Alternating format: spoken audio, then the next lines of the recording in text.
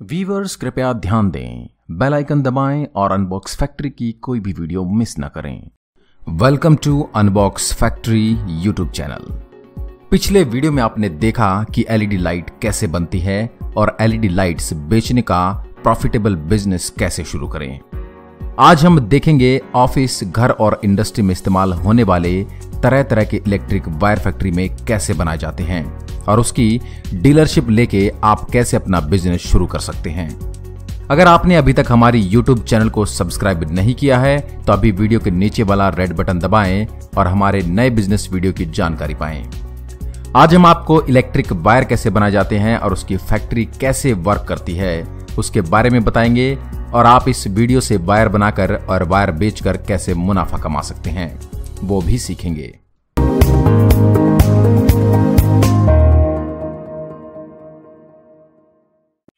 लगातार बढ़ते हुए इंडिया के विकास के साथ इंडिया का इंफ्रास्ट्रक्चर बहुत तेज़ी से बढ़ रहा है और इसकी वजह से मार्केट में तरह तरह के इलेक्ट्रिक वायर की ज़्यादा डिमांड है। और दोस्तों, ये कंपनी में डेली 80 किलोमीटर लंबी वायर बनाई जा सकती है और वायर बनाने में कुछ गिने चुने ब्रांड्स ही हैं। तो इसलिए आपको लोकल मार्केट से अच्छा मुनाफा भी मिल सकता है। तो चलिए, दोस्तों, अब देखते हैं वायर कैसे बनती है।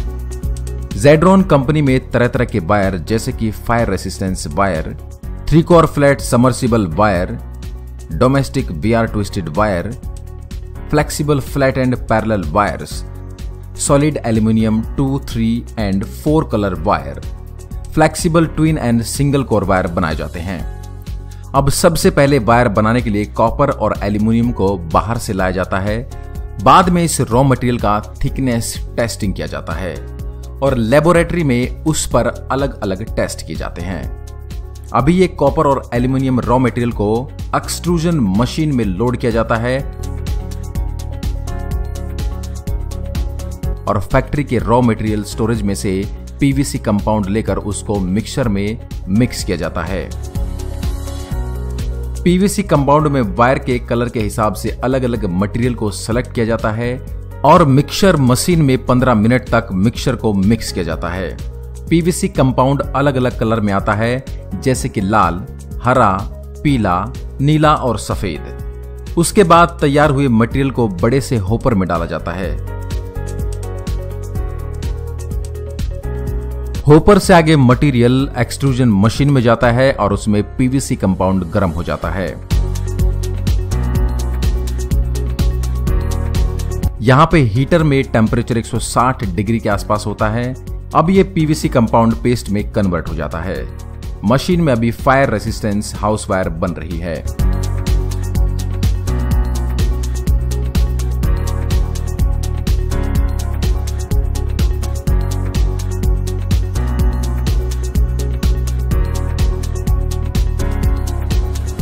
अगर आप भी अपनी फैक्ट्री का वीडियो दिखाना चाहते हैं या वीडियो बनवाना चाहते हैं तो नीचे दिए गए नंबर पर कॉल करें।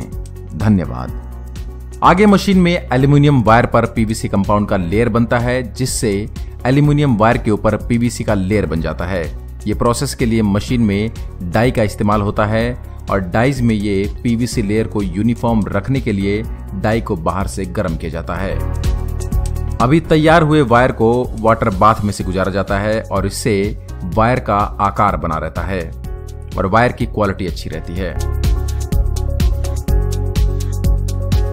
अभी ये वायर ग्वाइडेड पुल्ले के ज़रिए आगे बढ़ते हैं और प्रिंटिंग मशीन में से पास होते हैं और प्रिंटिंग में कंपनी की ब्रांडिंग के हिसाब से प्रिंटिंग होती है। प्रिंटिंग प्रोसेस में वायर पर उसकी टेक्निकल डिटेल्स और अन्य डिटेल्स प्रिंट की जाती हैं।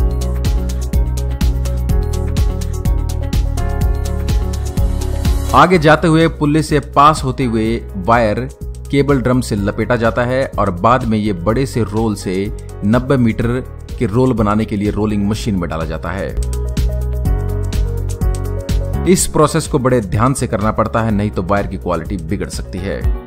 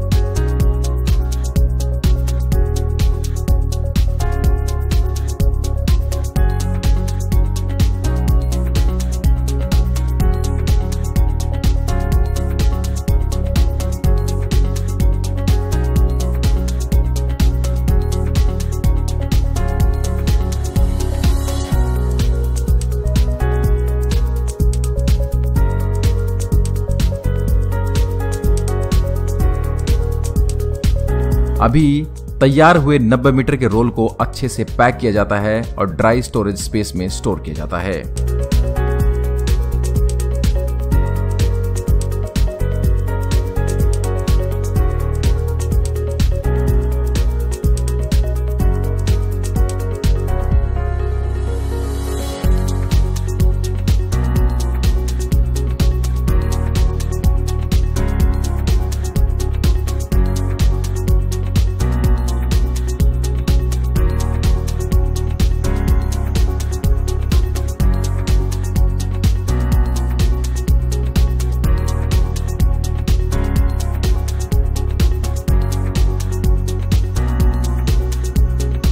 वायर की क्वालिटी टेस्ट करने के लिए वायर का बैच टेस्टिंग किया जाता है, जैसे कि tensile testing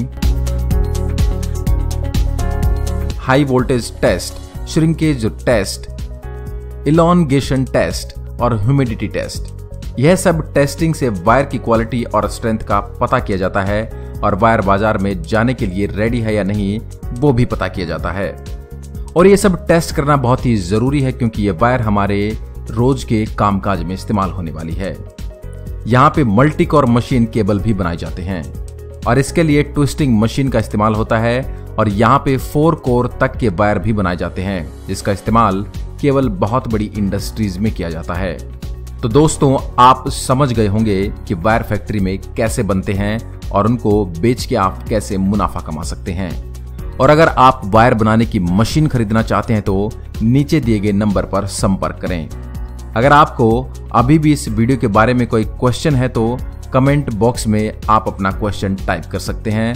हम आपको उसका सॉल्यूशन दे देंगे। आपसे एक बार फिर मुलाकात होगी एक और बिज़नेस वीडियो के साथ। तब तक के लिए नमस्कार। जय हिंद, वंदे मातरम।